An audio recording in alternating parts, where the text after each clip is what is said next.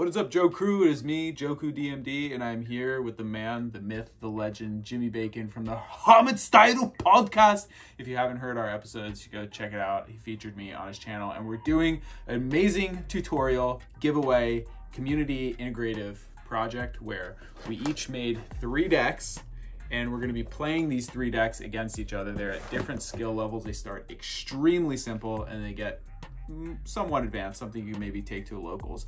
But we're doing this video here where we're gonna show you guys how we play these decks. You're gonna learn how to play them, and the three lucky winners of the giveaway are actually gonna be able to have the chance to play these decks against each other on our channels if we can figure out the technical difficulties because it only took us an hour to get this video figured out but i'm sure we'll figure it out anyway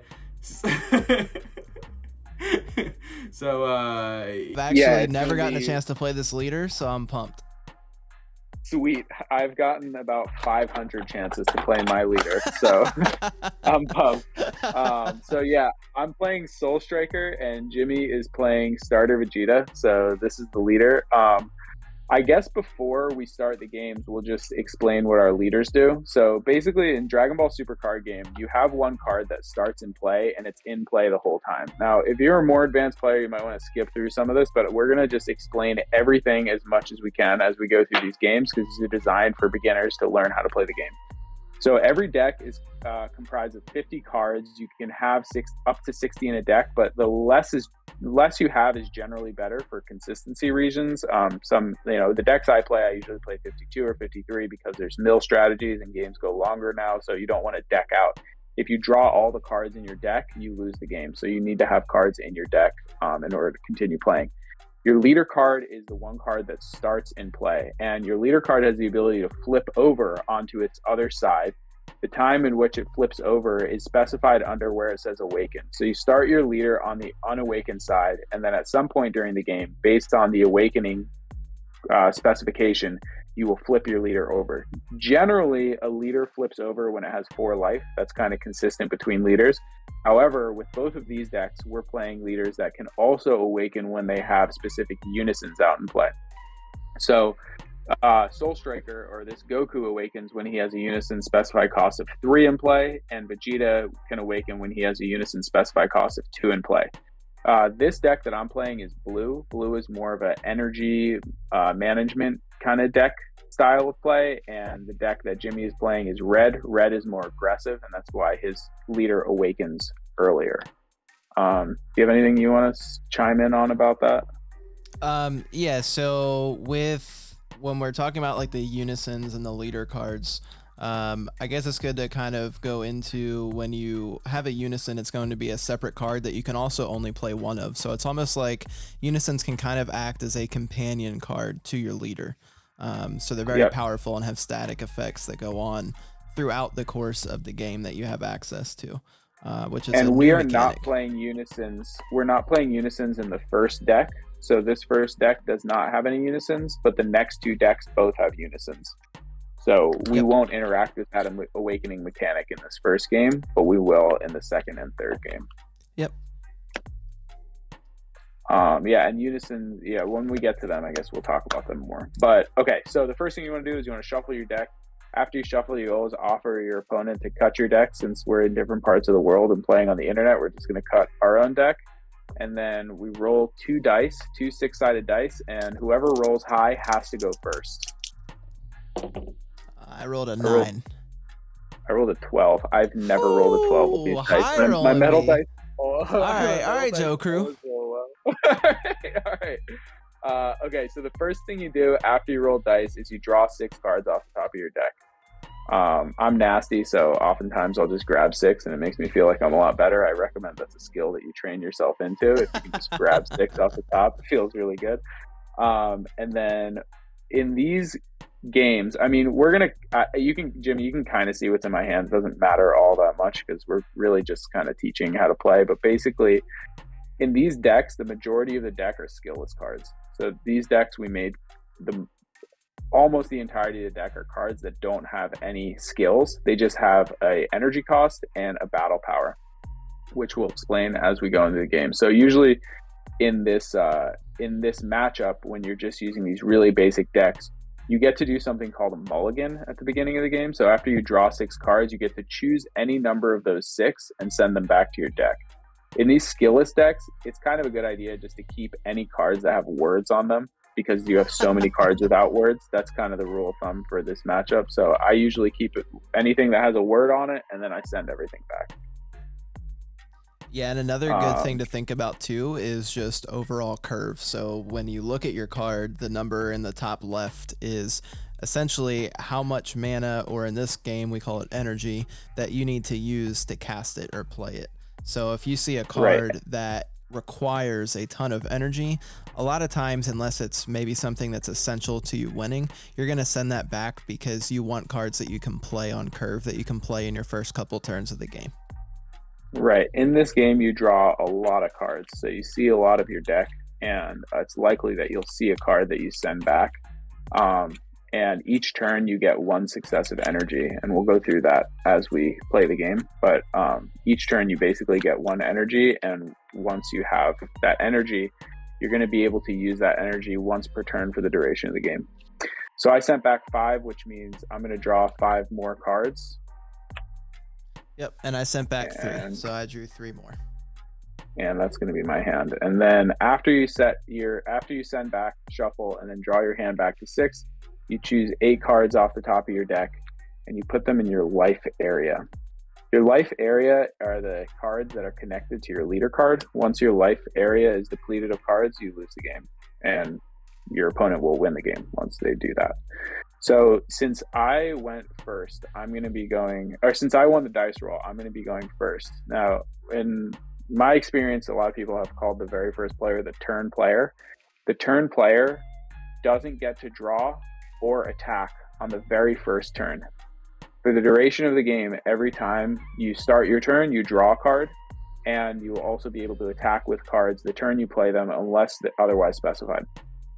So on my turn, there's there's two parts of the turn. There's a charge phase and a main phase. And for the charge phase, I'm going to choose a card in my hand and place it in my energy area. And I know I have a lot of these two energy skillless cards, so I'm going to choose this card to put it in my energy area. Once a card goes into your energy area, it loses everything on the card except its color. So this is a blue card, and when you put a card in your energy area, you want to put it inverted so that it doesn't get mixed up with your drop area. And when this card gets placed in my energy area, this is now worth one blue energy. Now, the only thing that I'd be able to do on this turn is play a one energy card. The only one energy cards that I have are counter attacks. You can see the one energy for counter there. So I'm just going to leave that energy up. I can't attack. And at this point, I'm going to pass my turn. So now it's Jimmy's turn. Okay, so as the player going second, a lot of times they'll say it's the player on the draw because you are the one who gets to draw first. So from here going forward, both of us at the start of our turn will draw one card. And then same thing, I'll choose one card in my hand to play as energy. So for me, I have essentially very similar to him, a lot of skillless cards. Um, so what's going through my head now is what cards do I not need? Which same logic, probably just my skillless cards. Um, I have multiple one-drop skillless cards in my hand already, so I'm going to use that. Um, so I charge my first energy, and then at this point, I'm free to do whatever I want. In Dragon Ball, you don't have to do anything in any specific order after you start your turn. So I can attack, play cards, attack again, play more cards, as long as I can pay whatever costs that are necessary to use the card, I can do it. Um, so at this and point, that's called your charge phase. So Jimmy just finished his charge phase, which is draw and put a card in your energy. And once that's over, it's done. And a lot of people ask, "Hey, can I put a card in my energy after I draw more cards?" And the answer is no you have to choose a card from the card pool you have in your hand during your charge phase. So that that affects your options in other styles of gameplay. So it's important that you know you put your energy down first because if you don't do that, you will lose your opportunity to put an energy because technically you don't actually have to put an energy. It's your opportunity to put an energy. And if you forget and start your turn, technically you cannot put an energy after that, which will really hurt you in the game. Yep, yep, exactly. Um, so at this point, I'm I'm gonna go right into it. I'm gonna attack Vegeta into Goku. Um, so when I go into battle and you declare an attack, you turn your card sideways. Uh, anytime a card goes sideways, it's switching it to rest mode. So leaders sometimes will have autos. This card does as well. So if you look any card, if you see that blue keyword skill, um, you'll see it says auto. So it's blue behind it, and in white letters says auto. Um, it says when this card attacks, draw one card, then it gets plus 5,000 power for the turn. So I'll declare my attack and declare my auto. And then at this point, it will go on to Johku and he'll have to decide do I have any card that I can counter with at this point? Right. So the very first thing is Jimmy's declaring an attack, and he's attacking my leader. And he can attack my leader because leaders can always be attacked. We'll talk about battle cards after, but it's a little different for battle cards. Now, when he attacks, the number that he's attacking with is the number that's printed on his leader card, which is 10,000. I have 10,000 at mine, which means that if this were ta- attack were to just go through as is, it's going to be 10,000 to 10,000, and the tie is going to go to the attacker. So the attack would go through and it would deal a damage to me. I have two options in my hand. I have two counter attacks. Now, I could say I want to use this energy to counter the attack and protect my life. However, in this game, especially in this matchup, it's kind of a race to see who can get to four life first because our leaders become much more powerful once we're at four life. So in this instance, I'm going to say I don't have any counter attacks, and now we go into the battle step. Perfect. So now that he has no negates, I'm going to resolve my auto where my card, where I'll draw one card, and then my leader gets plus 5,000 power. Um, it is for the entire turn, so what I'm going to do is put a little dice on him. That just reminds me that he is at 15,000 right now. Um, so at this point, when you're in battle, I now have the opportunity to combo cards if I would like. And now I'm what would be called my offense step. So during this time, I can combo cards, which if you look at any battle card, I'll just put this one on the table, for example you can see at the top, there's going to be two numbers. Uh, there's a number that will either say zero, typically one or two. And that's the cost to combo with it. So if I wanted to use, we'll just put this card back on the table. If I wanted to use this card to combo, it's a zero. So that zero means it's free to combo with, and if I were to place it down on the table, this would give my leader for this battle an additional 5,000 power. So he would and go from card 15 is placed, to 20. It's placed it's placed in your combo area, which exists basically between your battle area, which is where cards are played, and your energy area, which is down here. So the combo area is this area. And during battle, when you're comboing with cards, cards remain in the combo area until the end of combat. Yep, exactly. So when you want to combo, it's when you want to beef up your attack to make an attack go through. In this case, like he said, we're both in a race to get to four life. So I'm not really in a rush to combo any cards because a huge factor in the Dragon Ball Super card game is hand advantage. I want to try right. and have a bigger hand than my opponent. That means hopefully I'm in the lead. So I will say no combos and then I will pass it over that way he can go on the defense step if he would like to combo out or if he has any effects he would like to use. So at this point, if I wanted to combo out, I would actually have to combo two cards. Since he's at 15 right now, I'd have to go over 15, and that would leave me with three cards in hand, which would really cause a problem for me later in the game. And the benefit of getting attacked is when he attacks me, this card from my life is actually going to go into my hand. So I get another card in my hand. I'm also closer to four life, which will allow me to awaken. Um, and yeah, so in this game, a good rule of thumb if you've ever seen Dragon Ball, at the end of the fights, they like do these huge blasts, and there's like unreasonable destruction of landscape that happens. It's kind of how this game works. Is at the beginning you're just kind of poking and doing little attacks, taking damage, and then once you awaken, it becomes a lot more of a control game, which you'll see. Yep, exactly. So now the battle has ended. He took the life. I got what I wanted. I drew my card. And at this point, what I'm going to do is I wanted to see a lot of times what I will do when I play is I don't like to reveal what I'm going to do to my opponent. So now that I know what his decision was to take that life, now I can make a more educated decision on where I want to go with my turn because remember, you can do things in any order. So now I'm going to decide to play a battle card. So I will tap my one energy and switch it to rest mode. and then I will play Shu. So Shu's a battle card. Oh, bro, you ha- young, why would I play dog, Vegeta man. when I have Shu, bro? Dragon Ball Super.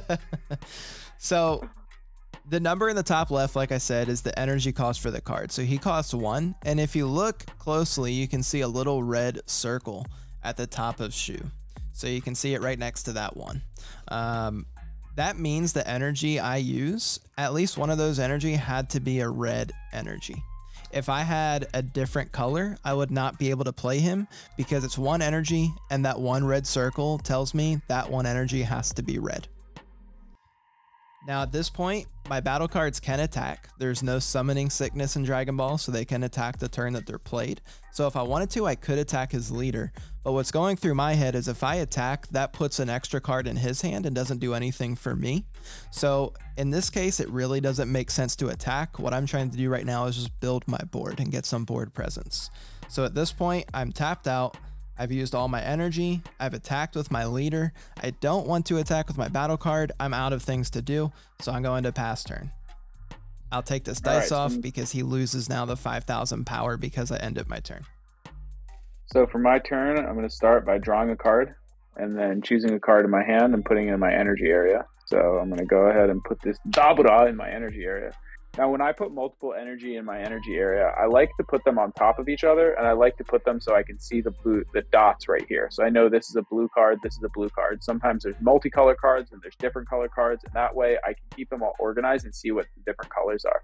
And I keep them stacked like this, so I know how many there are. If I want to tap one, I can keep it tapped, and it just keeps this whole area a little bit neater.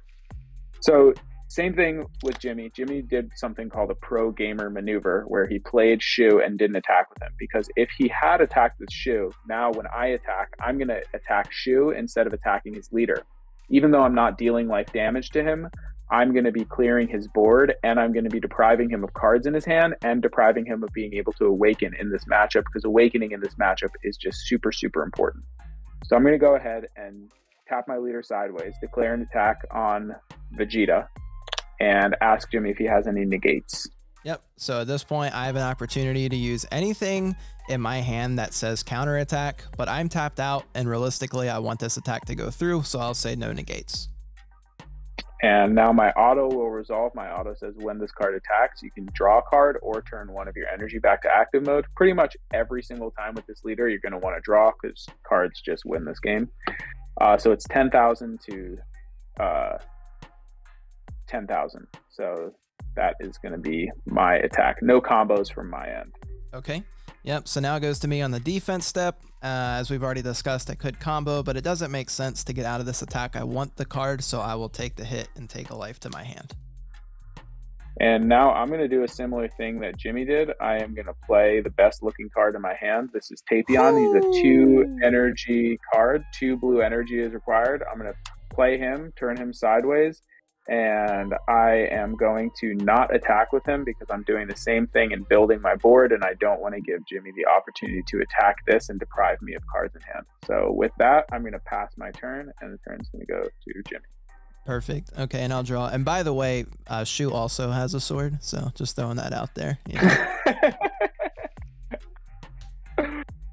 All right. oh man, the days of super combos.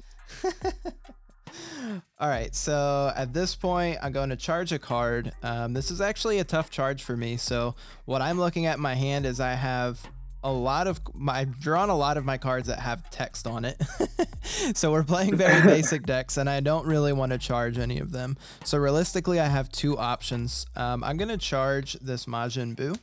Um, and the reason I charged him is one, he's a three drop, so he costs three energy, and he actually has a permanent where he comes in rest mode. So this is going to be a play where I'm delayed a turn if I played him. So at this point, it's better off just to put him into my energy. Um, I'll also untap my leader and switch him back to active mode because as part of your charge step, remember you draw, untap, and charge your card. So that's how you use your energy from the last turn on the next turns. You kind of have to balance and choose if you want to keep energy to use it defensively or if you want to exhaust it and use it so that you're augmenting your board or your resources through the course of the game. Yep. So at this point, I'm going to structure my turn pretty similarly. I'll declare an attack on his leader by turning my card sideways. I'll say no negates because I don't want to use any cards in my hand. I also don't have any energy open to negate right now, so Okay. no negates. And then my auto, I will draw a card. Always remember to declare your autos as well. Um, it really as when this happens, it's a mandatory auto because it just says when this card attacks. But there are cards with effects that are not mandatory. So if you forget to declare your Right. auto, you technically can't use it, and then you'll miss your window. So it's a good habit to always Right. declare it. Right. All right. So uh, that's ten thousand, or you're at fifteen thousand. Yep. And I ask if he has any combos. Yep. So he didn't negate. I'm not going to combo. I'll leave it at 15 for the same reasons we've already discussed, and I'll pass back to him on his defense step. and I will take that hit into my hand. No combos from my end either. Yep, sounds good. And at this point, ironically, I will do the same thing he did. I will tap two. I will play my favorite skillless card. My favorite. This is my favorite in the whole game, so I had to play this. The village monster coming down, baby. Yo, monster card. I uh, this is actually my favorite skills card in the game. What? So it is. Yeah, I didn't talk it up as much, but I think this is the prettiest skillless card in Yo, DBS card game. it's so nice, so nice. Uh, Destiny new players, pre-release stamp set mandatory. when Um, a set comes out before the set releases, you can get packs with your booster boxes that you buy or packs that you buy, and sometimes they do tournaments. And very small in the text for uncommons and rares, you can get a card that says pre-release in gold foil. It makes zero difference for the the effect of the card, except the psychological and psychosomatic effects of the card are significantly augmented radically. So, fling your decks out. So right now, what's going through my head is I could technically try to push him right now, and I could start swinging. But all that will do if I swung with both my battle cards is put him to four life, and then give him them targets to swing at. So it's still a little too early for me to start pushing. I still just want to build my board. So this is all I really want to do. I'm tapped out. I will pass turn back to you, taking my dice off. Yep. So I'm going to draw a card here for my turn. Everything in my uh, play area switches back to active mode. I'm going to choose a card from my hand and put it in my energy. And I know I got a lot of these. This is actually one of my second favorite. So I'll put it in my energy. And now I have Super Goku and Super and Goku in my energy area and Dabura keeping things spicy. All right. Uh, so I have the first thing that I'm going to do, same sequence, just attack with my leader to leader, Yep, and I'll Uh, 10,000. and I will draw for that attack. And I will say no combos. I'll leave it at 10,000. Yep, and we take those. So I will put that card in my Take hand. And now I am going to pay three energy for Dabura. oh my god. He's gonna come into That's play, and I'm just gonna do. Yeah, he's a thirty thousand, so he's a big attack. He costs three energy. Uh, skillless cards generally have a higher battle power relative to the amount of raw energy that they cost. Um, and at this point, I'm just gonna do the same thing. I'm gonna pass because I'm just building my board. So go ahead. All right, so my charge step, I will untap all my cards. I will draw a card, and we will charge one. Sadly, we're got to go with the double boo. he is just looking Double for the energy. um, yeah, And some, it's going to be that big boo energy. and sometimes new players get confused with the numbers. Remember what we said in the beginning. Once you put this card in energy, the card is blank. So the one, the threes, they don't mean anything. Each one of these just counts as one red energy to use. Um, right, they just retain the color. Yep. So at this point, I will go ahead and declare an attack with my leader to his leader. And I'll say no negates. Yep, uh, my auto will happen. I'll draw a card. He gets the 5k, so he goes up to 15,000. And I will say no combos. And I'll say no combos, and I'll take that hit into my hand. All right, so moving up the chain, we are now going to tap three for our three drop skillless. And we will play full power frost. Yo, that man's nasty. Yes, sir. Um, so we got one, two, three on the board. Uh, he's at five life. So there's a couple things I could do here. If I wanted, I could start actually swinging, right? So I could swing with my Shu, try and get him down to four. And once he's at four life, it's going to put him on the defense. So if now I start swinging with my village monster and my full power frost, it's going to force him to either start taking life he does not want to take now, or he's going to start having to combo cards.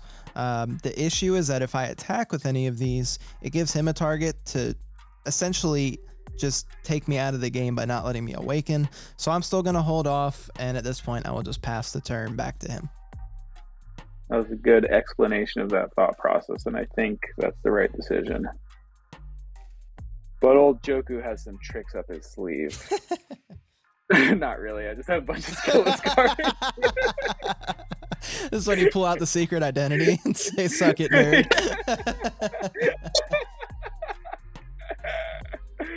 All right, so I'm gonna choose a card and put it in my energy area. So I am going to charge this uh, Super Saiyan Son Gohan. Um, now I'm gonna do the same thing here. I'm gonna attack his leader with my leader. Yep, no Auto. negates.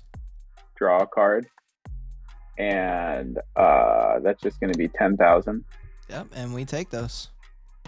And now I'm going to pass. All right, so we untap. I think you guys are getting the idea now. We draw, and we have to pick a card to charge. So at this point, I'm in a pretty interesting spot. So I have cards in my hand that have text on them, and I'm actually going to charge one. Um, so we're going to charge this Toppo. And the reason I selected this, I know we said we want to hold on to those cards that aren't skillless, but right now I have multiple of these in my hand. And to activate his effect, which we'll get into, I'm sure, later in the game, I have to discard one card from my hand. So having multiple of these, I realistically I'm only going to be able to resolve so many in this matchup because I ultimately don't want to lose that kind of hand advantage. If I was Right. resolve all four, that's eight cards out of my hand in a matchup like this. I already can't come back from that. So knowing I have Correct. multiple, it's fine to charge this for right now.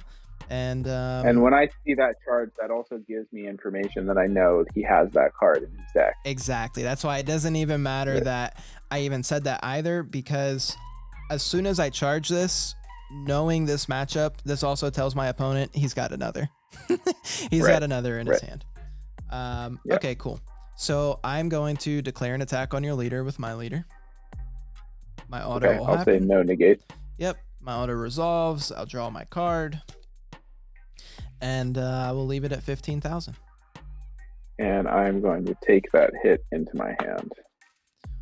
All right, so now we're in a really interesting scenario. We're starting to get down to the wire where he is now at four life. I can start pressuring him, um, but I'm also at five life. So if I start pressuring him here, I'm not going to be able to awaken. So now I have to make a decision that do I think I can create enough hand disparity here where it will be okay? And I'll just say that's fine. I'll sit at five life for a while. My leader gains the 5k, so I don't really care too much about losing that power.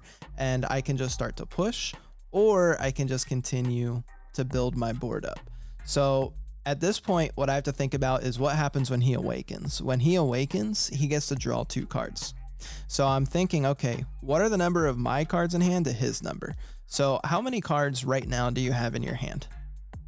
One, two, three, four, five, six, seven, eight, nine, ten. Okay, and I also have 10. Um, so for right now, it really does not make too much sense for me to pressure, although you could make the argument that it does. Um, but realistically, I want to be able to awaken and I want to have a really big turn where I pop off. Um, so at Yeah. this point, I am just going to use my energy to actually make my board really big in the hopes that next turn I can go crazy.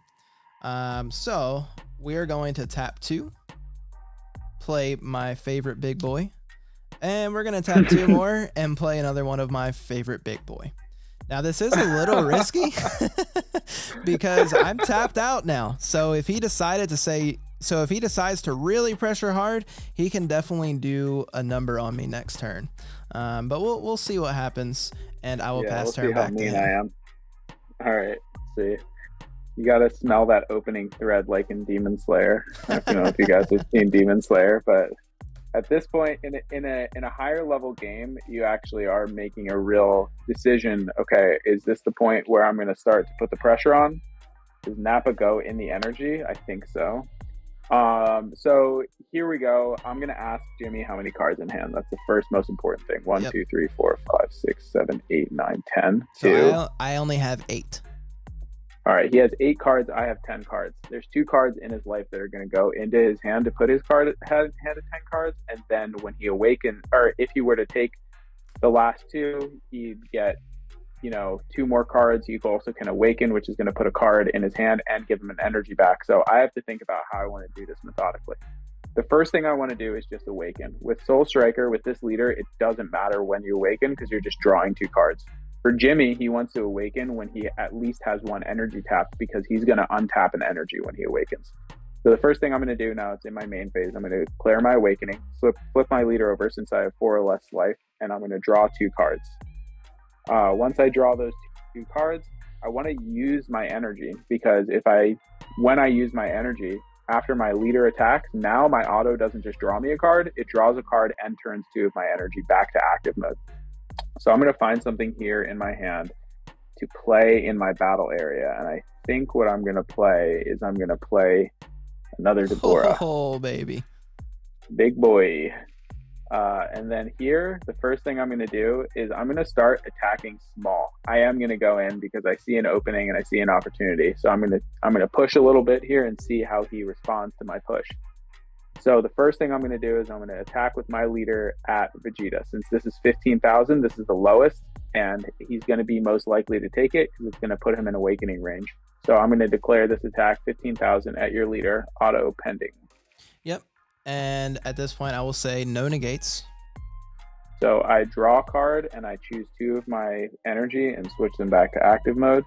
Now it's 15,000 to 10,000. I feel confident that he's going to take this hit, so I'm going to say no combos. Yep. So this becomes a really actually more interesting play than one might think for me because I know I can feel him wanting to push me here, right? So I could try to defend, but then he can also decide to just take an alternative route and then not awaken me. So it's a pretty ballsy move if I were to combo out of this, like if I comboed my Shu on a card from hand and then say, Are you going to push me or no? Um, realistically, the answer is probably no. So I'm going to be forced to take this hit, but that's my thought process right now is should I combo out? Do I think he is going to push since I tapped out here? And if he does, I know I probably am not going to combo out of these big Daburas. So I'm saying, okay, he has four energy. He could realistically attack me up to five more times because he might play two more two drops. So now I'm saying I'm at five life. That's five damage. So you kind of have to decide where you want to go with this. Ultimately, I am going to take the hit. All right, so now I see that opening thread and I say in my head, Tatakai, which means attack in Japanese. So I'm going to start doing some stuff here where the first attack, I'm going to attack Tapion to his leader. And now I can't attack any of his battle cards because they're all in active mode. So if you guys have noticed, we haven't been attacking battle cards. We've only been attacking leader cards. Leader cards can always get attacked. Battle cards can only get attacked when they're in rest mode. So you have to attack with a battle card first, unless the card specifies otherwise. But there's not that many cards in the game that do that, unless you're playing Champa and Beerus next set, which is going to be lit. But that's a whole different story. anyway, uh, I'm going to go ahead and attack his leader with Tapion. So that's 20,000 to his leader. Now he has the opportunity to negate. Yep. And I will say no negates. And now we go into the battle step. So I'm going to say no combos. Okay. So here is another interesting point in the game because during my defense step, in addition to comboing, I can also activate battle skills. I can act- actually activate my awaken if I wanted to. So I could awaken, make my leader a 15k, and make this a little bit easier to get out of. Um, now, I have a little bit of a different plan of what I want to do. So I'm trying to see can I hold my awaken and does it make sense to? Uh, in this case, I don't know what he's going to do.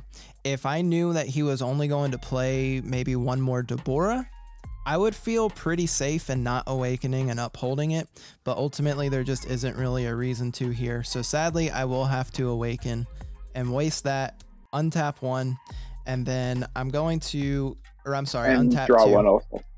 Or- Oh, he's on tap too. Right, yeah, right, right. yeah, yeah, yeah. He's an untap Yeah, he's too. on tap. We'll make sure. Yeah, that's good Yep. idea. Um, yeah. but yeah, he's he's an untap two. So I'll untap two energy. My leader becomes a 15k. He does get some new abilities, but unfortunately, none of them will trigger during his turn. Um, and I will super combo. So we're seeing the first super combo here in the game. A super combo, in this one at least, is a zero plus 10k. So instead of just five, he's going to boost my leader up to 25,000. And if I have four or less life, when he's used in a combo, his auto, I get to draw a card. Um, so I will draw my card. Super combos are great to use in these scenarios because you can combo for free. I don't lose any of my hand, uh, anything from my hand, and then it's as if the attack never really happened. Yep, and he got out of this twenty thousand because his leader now went to twenty five thousand, which is greater than twenty thousand, so he doesn't have to take the damage from that attack. Yep, yep. Now, now it's back to my turn, or back to my step, uh, main phase, since we just finished that battle. Now I know if I attack with Dabura, he has two energy up, and the smartest thing for him to do in this instance is going to be to negate with his Toppo, because if he negates with Toppo, I'll have to start discarding cards every time I attack. But I want to force him to use that Toppo so that he doesn't have it for the next turn. And if he has another one for the next turn, then he's not going to have one for the turn after that. So I'm going to go ahead and attack with Dabura for 30,000 and ask him if he has any negates. So at this point, I have two different negates in my hand that I can use. I can use the Toppo. From where I'm at, um, it's actually a really interesting position because I have a power play I can make next next turn if I were to actually get myself down to two life. So I could play really risky here and try and bait him to tapping more energy and really try to do a number next turn. Um, so very Interesting. where I could go from here. Uh, honestly, I don't know the right answer at this point because I don't know what's in his hand. Me, So Me neither. uh, if he, yeah, it's it's really hard to say actually. So we will actually uphold the Toppo. We're gonna just we're gonna play. We're gonna have some fun. We're gonna see what happens here. We're gonna make a fun play. So I'm going right. to tap one, and I'm going to use after image technique. okay. Now, when I counterattack with After Image Technique, I get to choose one of my cards. Um, and I guess I'll explain a little further because this is actually the first counterattack we've seen. Uh, Right. So, counterattack, this is when I get to activate my negates. I pay the energy cost for counterattack, and it says if your leader card is red, choose it to one of your cards, and it gets plus 40,000 power for the duration of the battle. So, I'll choose my leader, and he'll get plus 40,000 for this battle and then choose up to one of your opponent's battle cards and it gets neg 10 power for the turn and i will go ahead and choose his other Dabura so Nice. the reason i did that is now his next attack will go down to 20000 um, granted it can still push through damage but honestly in this matchup i'm okay playing a little risky and going under four life. This is a more aggressive leader that i can try to push a little bit earlier. Um, so i'm okay with this. We'll see if he punishes me for it though All right. So I am going to that. So that I'm not going to combo on that. That's going to be he's going to be thirty thousand to forty or something, right? Fifty five. Yep. Something like that. Uh, and then I'm going to attack with this Dabura, who is now twenty thousand. Yep. Because of the after image, and i will say no negates on that one and I will say no combos. yep and on that i'm actually just going to take the hit and add a card to my hand And with that, I will pass turn to you. Okay, so he didn't take the bait. we wanted we wanted to see if he would overextend there and uh, and push in without leaving energy up, but it's okay. It's okay. Strong I'm- I- strong I, move by I him. try and I try and stretch every day, so I like to know my limits. All right. So this leader, unfortunately is very uh, has a lot of synergy with unisons. We aren't playing any unisons in this build, so a lot of his effects don't really matter. We'll go into them more in the next game, um, but I still do get the auto where I get to draw one card, uh, which will help me to try and keep up a little bit. So as I structure this turn, the first thing I'm thinking is, okay, where am I at? Where is he at? So how many cards do you have in your hand now? I have 1, 2, 3, 4, 5, 6, 7, 8, 9, 10, 11, 12. Okay, so he has 12 to my 1, 2, 3, 4, 5, 6, 7, 8, 9. Uh, so he's up three on me. I really need to make this turn count. Um, I have a strong feeling he's going to have a powerful negate here to play because he left four energy up. but we will see. Um, so let's talk a little bit about how I want to structure the turn. Before I commit to any big play, I really want to see if he has a big negate to play that can shut my turn down. And then the second thing is where is the target of my attack going to go? Um, I want to attack with my leader first because there's no reason to use these when I can know I draw my card on this attack. So I will declare an attack and then I can decide to attack a battle card and try and clear it. But remember, we play this Toppo, and this Toppo, you'll probably see it very soon, is very powerful and is going to save me without worrying too much about his board. So I'm actually going to start trying to pressure him and I'll declare this attack at his leader pending my auto. So in response to this attack, I am going to attempt to activate a dimension magic. Oh, uh, dimension magic is could have been way worse one energy negate, and when I pay one energy for it, it says if your leader card is blue, negate the attack, then choose up to two of your blue energy and switch them to active mode. So this actually puts me back at five energy. And when I after I activate that negate, it's going to go to my drop area, which is where Jimmy's super combo and his after image are. These negates dimension magic and after image are the blue and red sparking negates. And what that means is these both have a skill that says sparking five. Now, if I didn't have any energy and I had five cards in my drop area, I could use one of my life added to my hand and activate this negate, which would still untap two energy. So it's a very strong skill to be able to use that, but I don't have any cards in my drop area, so I have to pay the energy for this, and that puts me back at five energy now his auto will resolve. Yep, and that's the really cool thing is even if they negate your attack, you still did uh, declare the attack. The auto already was pending, so this auto will still resolve and I will still get to draw my one card. All right, so that could have been a lot worse. we'll see. It, it still could get a lot worse, but we will see. Um, so what we're going to do next is we're going to take one of my favorite boy and we're going to pressure him. We're going to go ahead and attack his leader. And now, instead of saying whether I have a negate or not, I have a very important question to ask Jimmy. Yes. Are you ready? Oh, he has it. Oh, God. Oh. All right, so I actually did have a negate. That's why I had all this energy up. It's why I had four energy up last time, but he didn't play into my trap this negate is fantastic. It's uh, counter attack, negate the attack, and play this card. So this is a battle card that gets played with negating the attack. And when this card is played, my opponent can't attack for the turn unless they place one of their energy in their drop area. So this is something called a floodgate. And what this card means is it's floodgating his attacks because if he chooses to continue attacking, he's going to have to destroy his own energy which isn't a huge deal for his deck. But the other benefit of having this block this card out is it also has a skill called blocker, which means when he attacks my leader, I can redirect the attack at this card and he's going to be minus in energy, which is a really, really good value. Now, the reason why I negated with Dimension Magic before negating with this card was because I only had four energy open and I wanted to leave energy untapped in case I needed more negates, which suggests to him that I have more negates in his hand which would lead him to believe that it may be a negative situation if he continues to push through, or I could be bluffing. But that's why I use the dimension magic before just playing this outright. Cool. So yeah, so that ruined my turn. Thank you. I guess uh, not ready to rumble. I'm not. So at this point, what I have to think about is if I swing, I'm going to lose an energy, which one energy already is bad. Um, but what's even worse is he can block. So now if I even want to try to punish him and push, I'm going to lose two energy. And being two energy down here is just I might as well just scoop and say you win. Um, it just doesn't make sense. So at this point, what I will do is go back to focusing on building a board.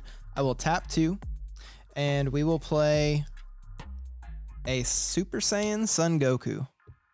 Yo, yeah, nice.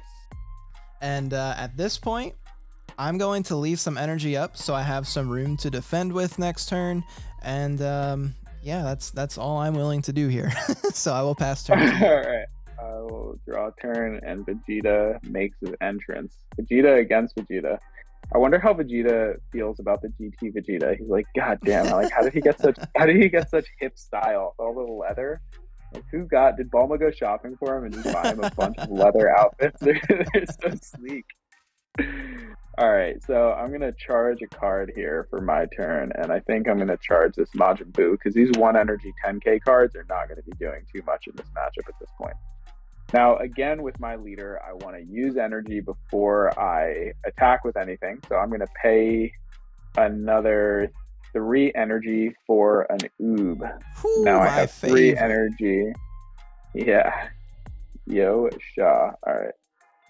So, hair out of here. And now I smell a Toppo coming, so I want to attack with my leader first so that I can get my energy back and draw a card. So I'm going to use my leader to declare an attack on his leader, Oh, and I'm gonna oh, auto- draw a card, and turn two of my energy back to active mode. And here we go. My counterattack. Toppo is coming down, baby. Toppo! All All right. So, um, so Toppo is a counterattack. Now you notice he costs four, but I only tap two energy. So let's uh let's go into the full text of what he does. So counterattack, and by the way, you'll know um, where your counters are. Um, when you see counterattack and counterplay, the the text will actually be highlighted in green. So you'll see a green border around it. Uh, and it says choose one other card in your hand and place it in your drop area. So I will go ahead and send Scientist Fu to my drop area.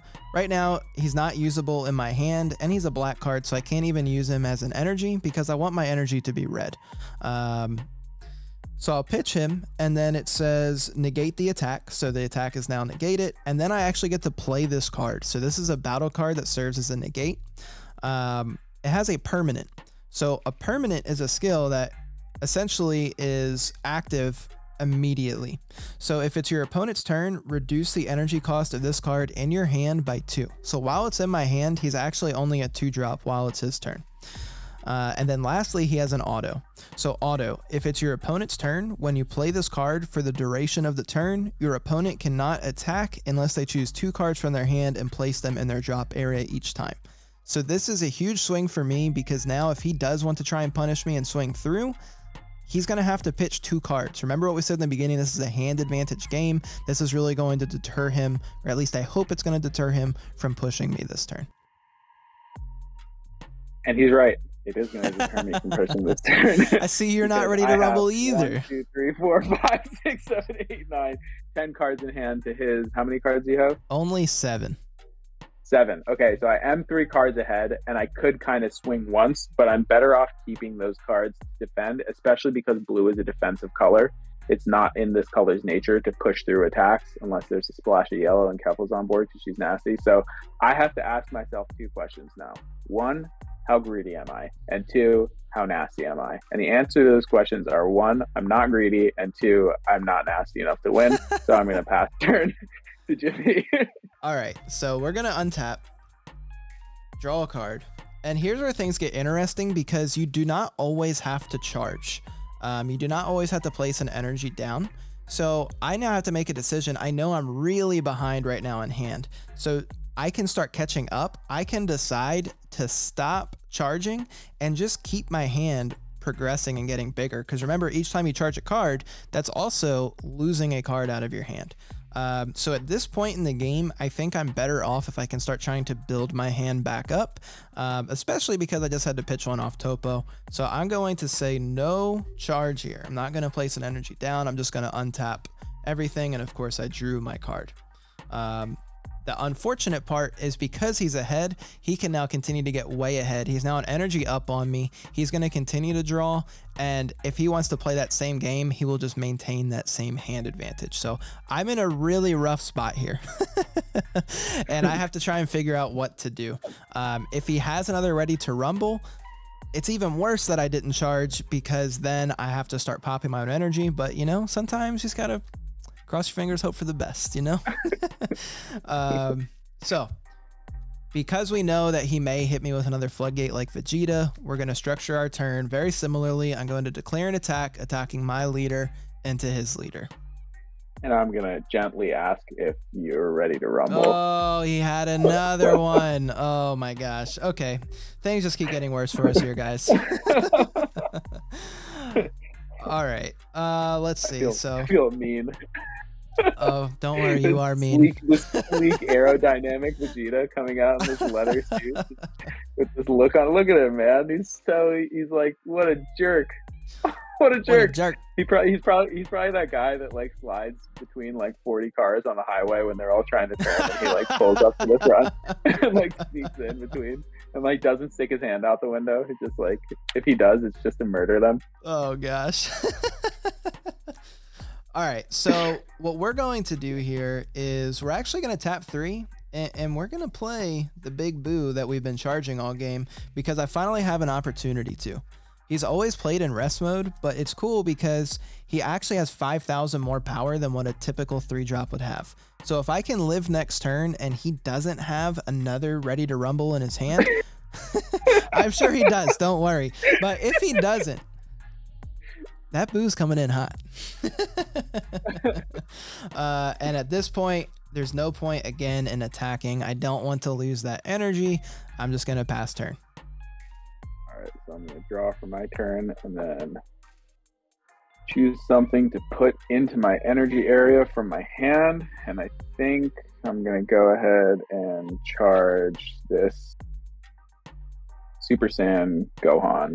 And same thing in this. I see he has two energy up. There could be another Toppo that exists. So I'm going to play another Tapion because it's beautiful and it's two energy. And I'm going to turn back two energy when I attack. And now I'm going to declare my attack, swing leader to leader, auto pending. Yep, smart man. I do have another Toppo. So we will counterattack So- Toppo and I will pitch one from hand. Uh, in this case, I have an interesting decision because I have cards that can serve now as combo power, um, or I have cards that are negates, which a negate doesn't have any combo power. So I really got to decide at this point how am I feeling? Um, and the way I'm feeling right now is these negates are probably not going to help me um, at this point in the game. Uh, his board is too wide. We're playing decks that don't really have anything to clear cards off the board. Um, I'm I'm feeling These rough. boards are so ridiculous. I'm feeling rough. So uh, I think we're gonna just go ahead and pitch the after image, and you know maybe he decides to start pushing because I only have six cards in hand. And now I'm going to draw a card and turn two of my energy back. Now, if I were to start pushing, one thing that Jimmy does have is he has a lot of board presence. There's a lot of cards on his board that he can use as combo power. When cards are in active mode, you can use them to combo. He can't use the Buu because it's rested, but everything else he can use to combo. Um, now, I'm thinking I don't know exactly what I want to do, but I think I want to keep building my board. So I'm going to pay another three energy here and play another Uub. Whew. Um, and with that, I'm going to pass my turn with four energy up. Very fun. All right, here we go. So I will untap. We will charge. I'm trying to do this. Hold on. I got to put the hand down so we can make this nice and pretty. There's so much on these boards. I know. Have you ever played a game of Dragon Ball like this? uh, no, I can honestly, I've never played a game of Dragon Ball like this. it's honest, it's honestly kind of fun. Like I know it's really basic, but there are some pretty big brain things that go on in this, and it's cool to learn at this level because then you can kind of build up with the other. there are for sure. There are for sure. All right, so we are going to. You know what? We're gonna say he's he's bluffing. He don't have the next Vegeta ready to rumble. that four energy isn't there for a reason. We're just gonna attack his leader. Yosha! Oh my god. All right, auto draw a card. I now regret the Toppo I charged early on. and uh, yeah, so now, oh man, this is really, really rough. So next turn is going to hurt. It's gonna hurt a lot. Yeah. I will Yeah. most likely lose, um, but we'll see. we'll see. Um, This slick, this slick Vegeta's not a nice guy. He he is not for sure. So I, I'm in an interesting predicament. I know I play four Toppo and I've seen three. There's a chance, a small chance that maybe one of my next life is a Toppo. Right? I don't have Right. one in my hand. Um, it doesn't matter Right. that I tell him that because he's going to attack with his leader first, anyways. And Absolutely. if I have it, I'm gonna use it. Um, so I Right. don't have it. Um, so yeah, this is this is interesting. If I could build a board, but say I use two energy to build a board. Um, if I have two for a Toppo and then I need to activate two more after images, I can't. So it really Right. doesn't make sense here because I may gain access as I get my life to my hand, which I'm sure will happen next turn. I may get Right. access to cards that I truly need. So, um, yeah. So, anyways, so at this point, it does not make sense for me to just build my board, especially when I know I'm going to combo that card off. Anyways, so sadly, since he had the third Vegeta, I'll have to pass turn. All right, so I'm going to draw here. Say thank you very much, Vegeta, for your slick outfit and getting me through this entire, carrying the whole team through this entire game. Uh, I am going to keep charging because blue can just do a lot of stuff, and I'm expecting to go in this turn, and I don't think I'm going to use this negate, which I really wanted to use, but I'm going to charge Champ to the rescue. Oh, This negate is hilarious. Maybe it might come in in a different game, but uh, didn't get in there on this one. All right. So obviously, he said he doesn't have a Toppo, but I'm going to play like I don't know that information. There's a chance that another Toppo could come out, so I want to expend two energy before I attack with my leader. So I'm going to use two energy to play that Gohan Skillless card, and now I'm going to attack his leader with my leader. Uh, draw a card and choose one of two of my energy and switch them back to active mode. Do and you have I any negates? will sadly say no negates. All right, so he's at uh, fifteen thousand. How many cards do you have in hand? I only have eight. Okay, and he has uh 20, 45 combo power on his board, I think. Yep.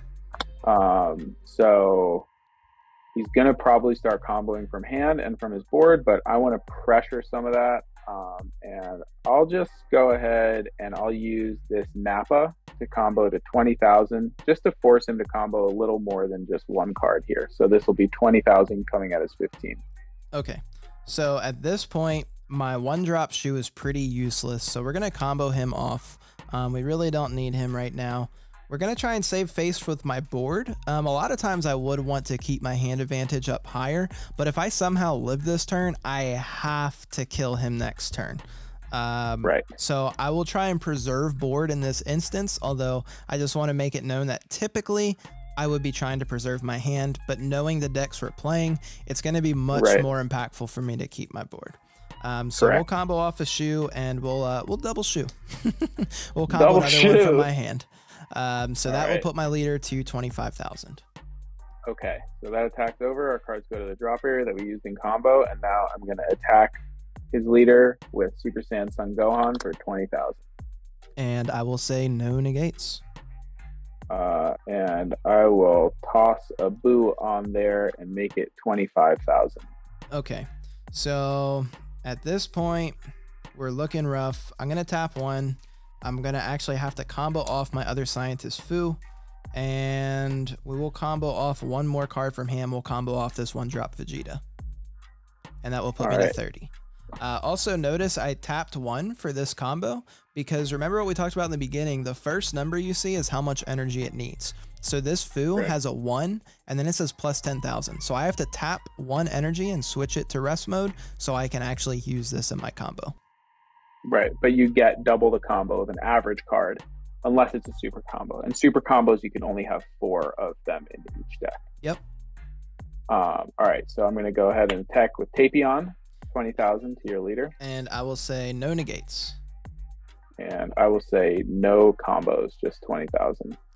All right. So we've unfortunately have to keep comboing out. Uh, we're gonna keep letting this hand go. Uh, we are going to combo and go to 25. So we'll combo right. two cards. So go in with the next Tapion, twenty thousand, And I will say no negates. And I will say no combos, just twenty thousand. And we'll sadly have to start comboing off from board. So Toppos, they gotta go. Good night, sweet prince. And so what I'm doing here is I'm just slowly chipping away at his board and his hand. Um, and if he does make it to the next turn, then I'm going to be in a very difficult position because I'm exhausting most of the cards in my hand as I'm slowly comboing to chip that damage away. But I do have three blockers on the board, so in the event that I do have to go on defense, it's probably going to be better for me to keep these up to block. And now I'm going to start attacking with my big boys. So Uub is going to swing for thirty thousand. Yep. And I will say no negates. And on this one, I'm going to say no combos either because he's going to have to combo 20,000, which is either four cards from his battle area or a combination of cards from hand and battle. Yep. So in this case, I really want to see what this next card is and just see if I have any kind of trump card. I was tempted earlier to take one just to see, but the likelihood of me drawing a fourth Toppo is very slim. Um, and honestly, he can push through it regardless. So it makes more sense to wait for the big swings because Right. I have to combo more cards to get out of them. So now that he Right. swung with a 30k, I do want to see what this card is. So I'm gonna not combo, and we'll see heart of the cards. We'll see if it Let's worked. hope. Let's hope it's the mustache man. And then Uub is going to swing in and ask if he's got a mustache man. And no negates. Oh, no oh, negates. so Uh, 30,000. 30,000. Okay. So how many cards are in your hand? I have four, five cards in hand. Five cards in hand. Okay, so I have four cards in hand. So at this point, I have two options. I can go down to one and really make him start pushing and get rid of those blockers because he's gonna want to attack if I go down to one life. Um, the issue is I really don't want to get into a point where I have to combo out on a 30k swing. Um, so sadly, I'm gonna have to let go of more cards. Uh, we are going to, man, we're gonna have to combo off the board. Uh, I'm gonna go 25 and 35. All the two drops are gone. and that just relieved a lot of pressure for me for the next turn. So Yep. now I'm going to go ahead and swing with Dabura for 30,000. Yeah, and at this point, we're going to tap one, and we will activate After Image Technique. So Nice.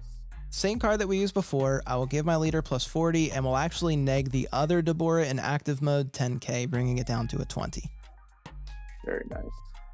And then I'm going to attack with the 20k Dabura. I will say no negates. So he's at two life here. You have how many cards in hand? Only three. Okay, three cards in hand. So at this point, I kind of want to push this through. Now, I know if he combos out of this attack, then I'm definitely going to swing with these. So to ensure that this attack goes through, actually, you know what? I'm just going to leave it at 30 and see what happens here Okay. because it's still a lot of cards. Well, remember, remember, he's at 20 though, because after. Oh, 20. Oh, right, right, right. You know what? Yeah, I'll leave it at 20. That's fine. Okay. Um, now we're going to combo off two from hand. Try and stay alive here. So we'll go up to Alright. 25. So this means Vegeta and his slick suit is going to have to start going in. So first Oh, swing, baby. Vegeta, 20,000. Uh, yeah, no negates. All right, so he's got 10,000 on the board and one card in hand. So I'm going to make him combo those last cards, and I'm going to say no combos. Yep, we will combo them off. All right, so then I got another swing here, 20,000 from Vegeta, No negates. and I'll just leave it at 20,000. Sadly, we have to take it. Now, unless this is a Toppo, I'm going to do something very ballsy here. Oh boy. I'm going to pay for energy, and No this makes way. no sense. But this is just the style. I'm going to play another Vegeta, oh my god. and I'm going to swing with this Vegeta, and he negates. No negates. Ah, no Toppo. All right, so I'm going to combo this Vegeta off, and this is where you start destroying the landscape unreasonably. uh, super combo, draw, and then I'm going to combo the card I drew, combo another super combo, Oh, draw, two super combos. combo that here. So this last attack goes to 20, 25, 30, 35, 45, 50,000, which is completely unreasonable because he only has one card in hand. No, but two- I that's have two. Hey, I have two now. I have two. Oh, oh, two, two. Sorry, sorry, sorry. Come on now. my bad. my bad. My bad. My bad. We're getting out of this, baby. All right, here we go. So I'm gonna start comboing. I will tap one, combo this beautiful secret rare, and oh, that's all I get to. Is 30. I have to take my last oh, life. Man. oh, yeah, the secret. I didn't have this. I didn't have the secret. I wonder where it was. Dude, those I had all four Vegetas. That's just like outrageous, outrageous. All right, so that was game one. I went first in game one. As we're gonna switch the intensity of the decks as we move through the game. So the next game we're gonna play the next deck, and um, Jimmy will be going first for the next one. cool. I think that that seems reasonable, right? Yeah, I think so. that way. Dude, where's my secret? Is my secret honestly the last card in my deck?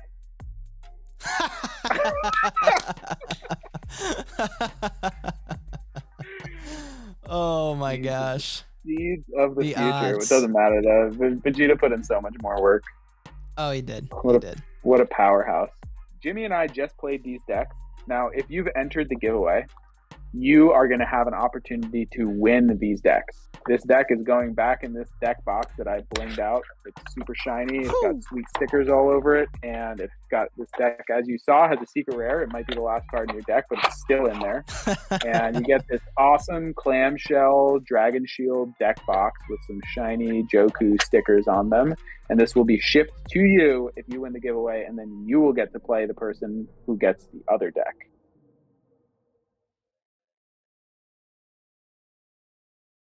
I forgot to give you a dental tooth tip. Uh, would have been really bad. I am a dentist. Um, if you eat some food and you don't have access to water or a toothbrush, sometimes you can chew gum to get some of the stuff out from between your teeth, but that's not a replacement for brushing. So don't forget to brush for two minutes a day and floss, and don't eat battery acid. See you guys next time.